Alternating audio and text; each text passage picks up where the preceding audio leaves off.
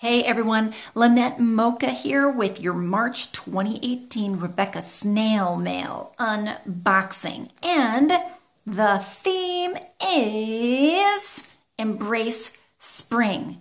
Isn't that a beautiful little bluebird? That is beautiful. I cannot wait to embrace spring. This, nor this winter in the Northeast has been horrific. So first we're going to start with the extras. Think spring, you guys. The extras, the pink lip mask. I promised you guys that I would actually like post a picture of me with this on one time and I never did it because I'm too embarrassed. but this is what I would look like. Anyway, that's cute. Love those.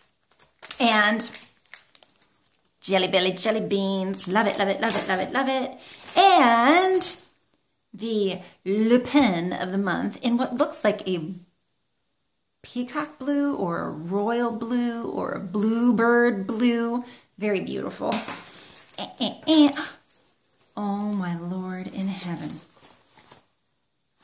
I just got a glimpse of the card, the first card on top, and it is gorgeous. But I'm going to make you wait for a second because here's another extra. Look at that. It's a little, oh, it's a lined journal. You guys, look at that. It's a lined journal in pink for spring, thinking spring. That is so nice. I love that.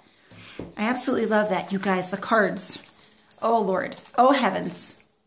Oh, my goodness gracious. These are beautiful. These are so pretty. Oh, my goodness. Look at that. Celebrate. little robin. oh, my goodness. Refresh. Look at that little cutie. I think he might be a finch, like a goldfinch. Oh my goodness, Murgatroyd. Embrace spring. There's our little bluebird. Beautiful, beautiful.